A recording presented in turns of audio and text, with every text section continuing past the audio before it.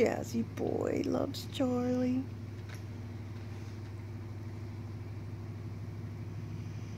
Jazzy boy. He's a good boy.